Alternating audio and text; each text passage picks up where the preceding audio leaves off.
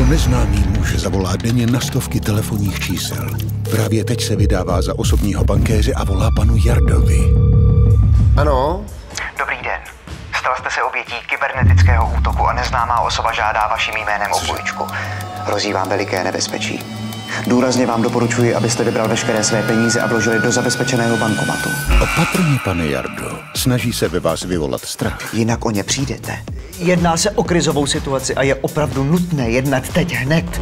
Teď hned určitě nic nedělejte. Nepokládejte Jardo, držte zůstaňte se- v klidu a zavěste. Odhalte útočníka dřív, než vás okrade. www.velkéodhalení.cz